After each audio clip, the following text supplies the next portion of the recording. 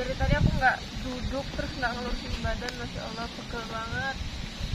Ini ayamnya udah matang terus kita mau langsung makan. Aku di kita siapa? Entah aku aja kalian nggak usah. Ini harap kalau misalkan mau nonton video ini harus sambil makan ya kalau enggak mungkin bakalan ngiler deh kulit-kulitnya emang ya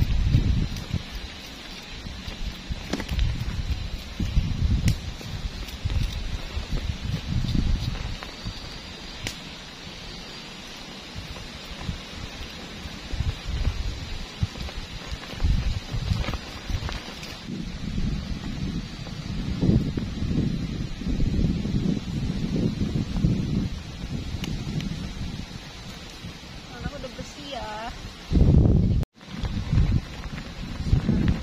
Cobain ayamnya dulu.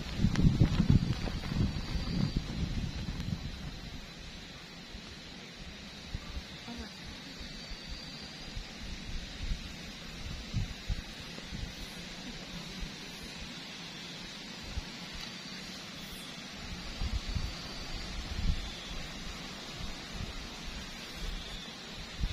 Aku suka banget sama kulit ayam jadi pokoknya mau potong mau enggak. Oke guys, jadi berhubung udah malam dan banyak angin juga kan, jadi kalau misalkan lama-lama di luar malah takutnya jadi masuk angin dan aku putuskan untuk tidur dan kebanyakan dan deh. Pokoknya nanti kita lanjut lagi di besok pagi kita sarapan dan bangun pagi atau enggak aku nggak tahu. Bye bye.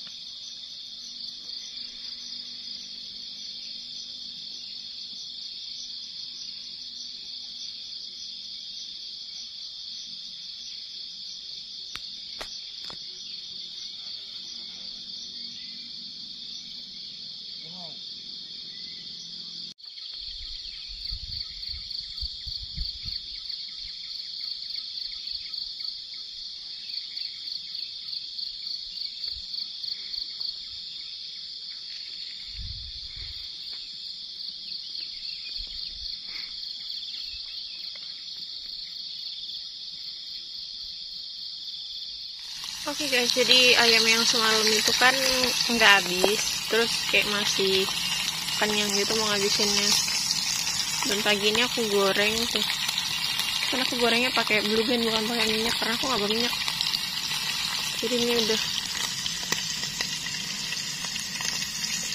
udah lumayan banyak sih yang aku goreng. Ini sekarang lagi proses goreng karena gorengnya satu persatu jadi rada lebih lama. Oke guys jadi ini ayam terakhir dan tuh gosong banget. Aku udah buru-buru mau ngangkat karena mau buat sarapan yang lainnya juga.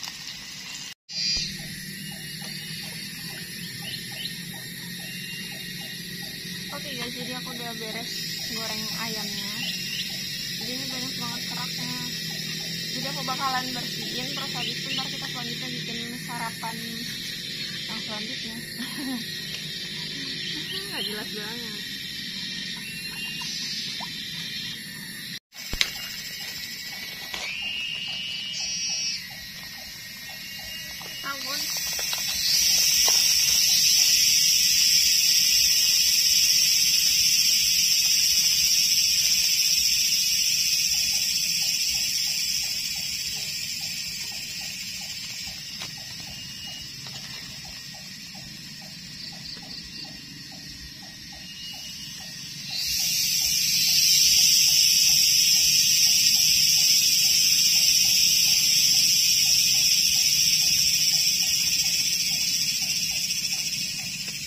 buat yang ngasih saran katanya uh, sarapannya nggak usah pakai mie terus dong buat sarapan lain kayak atau gimana.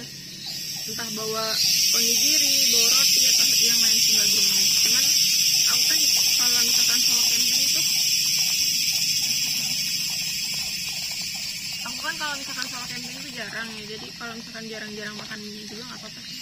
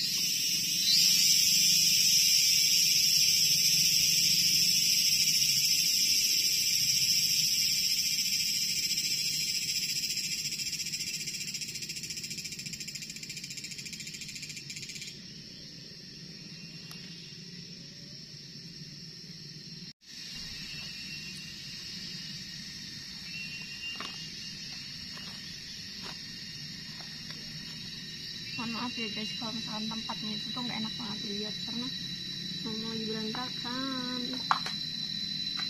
tadi sih enggak terus pagi-paginya nggak tahu berantakan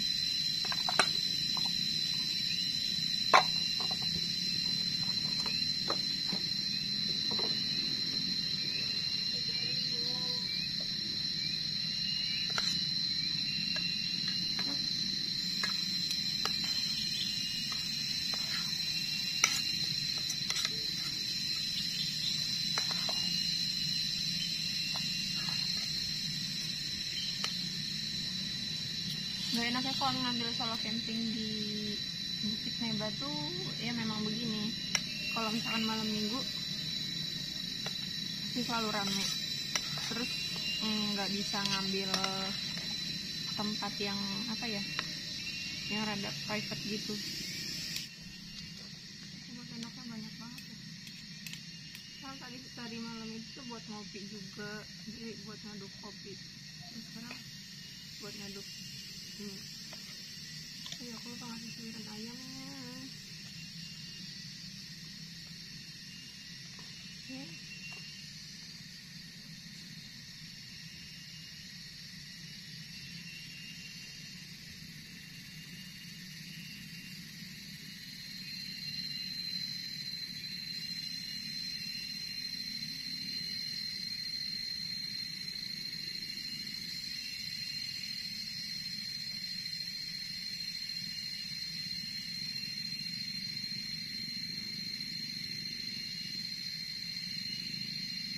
makan mie goreng pakai suiran ayam gitu enak banget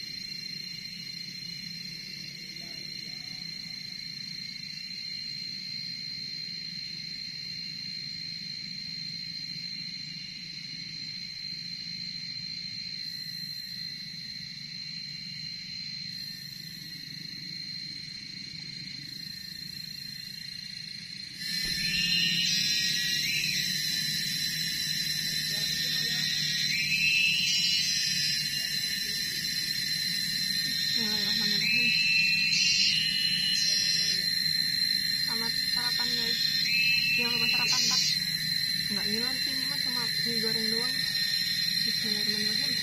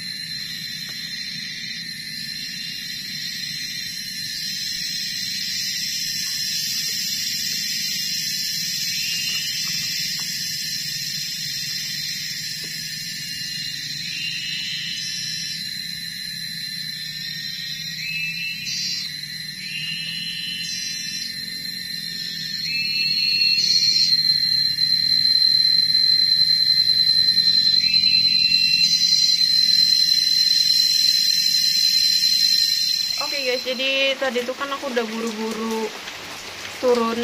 Karena kan memang perjalanannya itu tanah merah dan nggak taunya pas lagi beres-beres kebalap sama gerimis beuh. jadi udah turunnya eh naiknya tersiksa. Turunnya juga ikut tersiksa juga. Parah banget. Jadi tadi tuh biasanya perjalanan dari ujung aspal sampai ke atas itu sekitar 15 menit kalau kita cepet. Tapi kalau misalkan hujan kayak gini kayaknya setengah jam atau hampir satu jam gitu.